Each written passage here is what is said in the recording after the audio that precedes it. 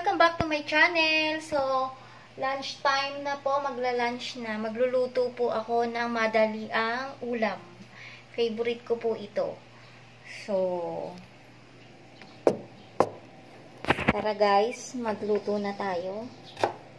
Ano po to? Tortang sardinas. Egg lang po at saka sardinas.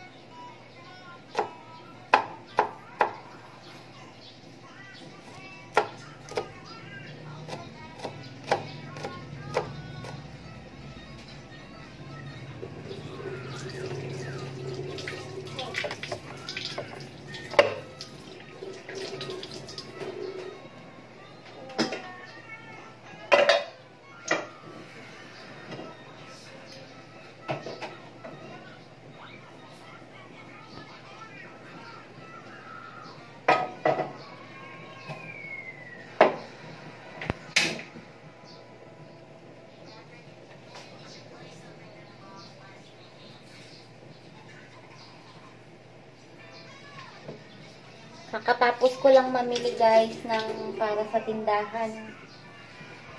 Namili po ako sa tindahan ng mga pan paninda.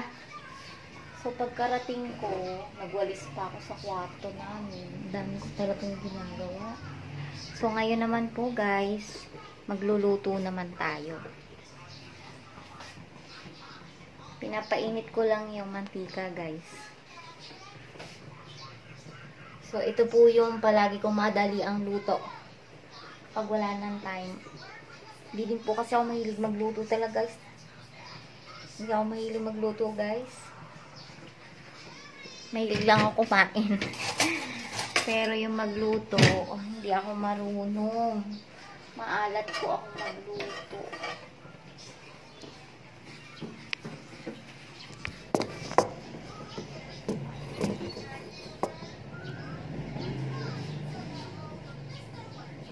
Parami ang mantika. Ano lang po guys, gisa-gisa lang.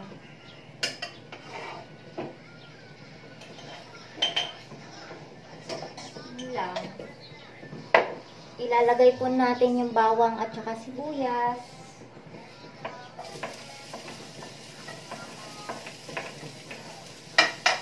Gisa-gisa lang.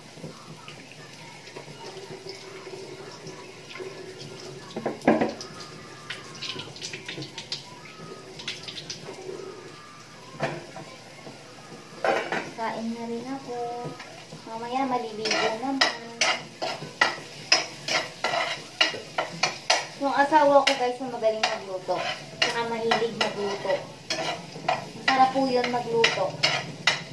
Nasa lagi daw nila sabi niya. Ano po yun? Masipag magluto ng pagkain ng ulam namin. Siya po, siya po ang tagaluto namin dito ng ulam nung dito siya. So, laging masarap po yung ulam namin. Ang galing po kasi yung magluto, masarap. Pwede ng chef.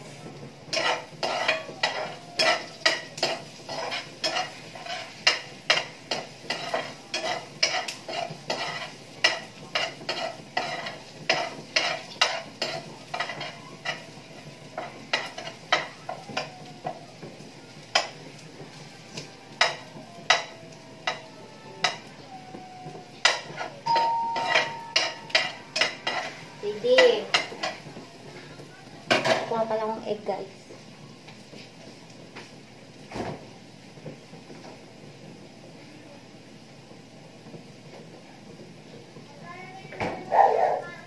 Ha?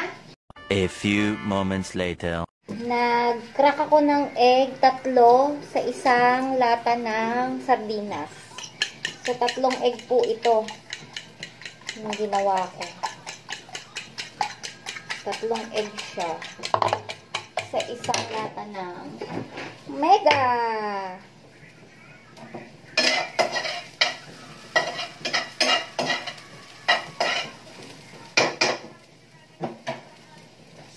So, guys. Luto na yung bawang at sibuyas. Lalagay na natin yung sardinas.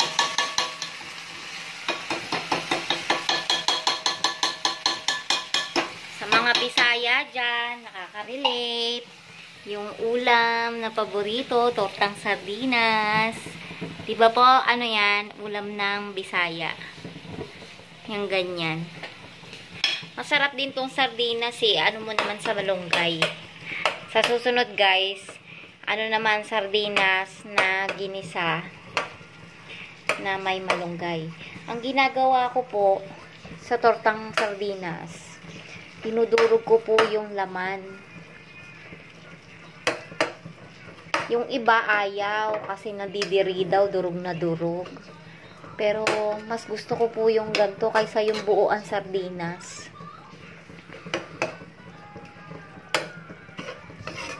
Mas ano, mas na ano ko yung lasa pag ganto. Magic sarap. Para malasa.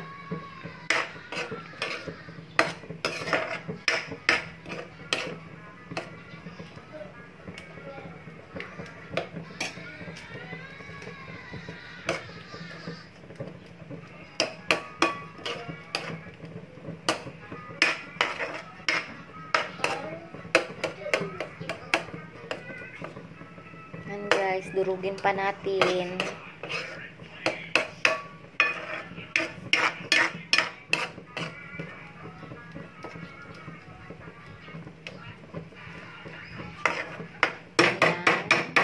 Pwede na ilagay yung egg natin. So, ilalagay natin yung egg.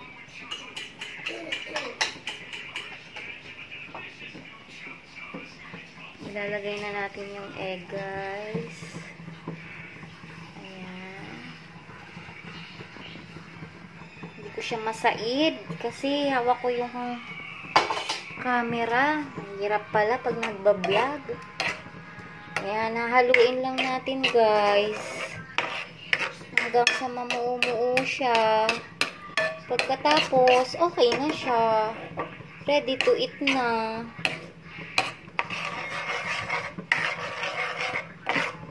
Ayan, guys.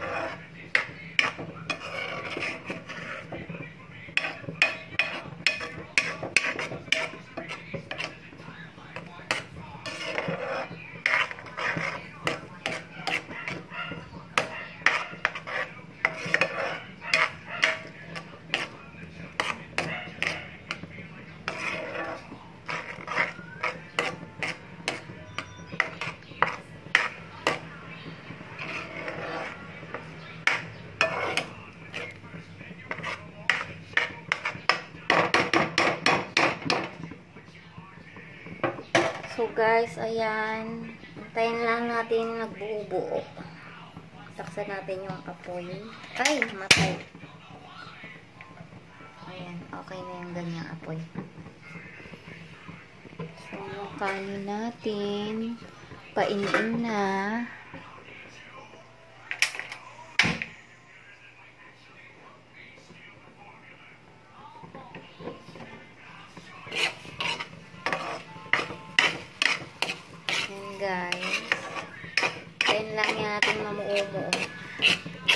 Itsura po niya, pangit tingnan. Pero, yung lasa nito, sobrang sarap. Paborito ko po ito. Alam ko, mga Bisaya dyan nakaka-relate sa akin. Paborito din tong ganito. Iba-iba lang nga po ng pagka, ano ng luto. Yung iba buo. Buong pinap, piniprito. Yung parang tortang ang ginagawa nila parang tortang talong, buo yung egg, ganun. Ako kasi dinudurog ko po ng ganito, halo-halo. Sabi, pangit daw ang itsura. Pero, ganun pa rin ang lasa. Masarap. Wala naman yun sa itsura eh. Basta masarap yung pagkain. Ox na ox. So guys, ayun na. Nagbubuo-buo na siya. Lapit ng maluto. Paborito din yun. Paborito din to ng dalawa kong anak, guys. Yung gantong sardinas. Yung panganay ko po, maarte yun sa pagkain. Pero pagdating dito, kumakain niya ng ganito. Tunde din to. Masarap naman kasi.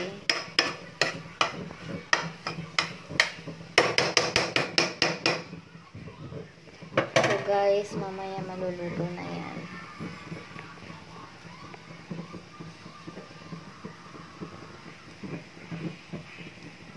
Sabayan nyo ako sa pagkain mamaya guys ng lunch.